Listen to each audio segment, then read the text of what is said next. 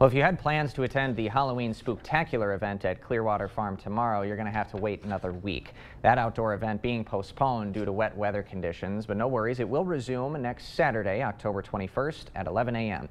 You can look forward to costume contests, a lights on haunted house, that's more my speed, Yeah. games, food, and of course, lots of animals.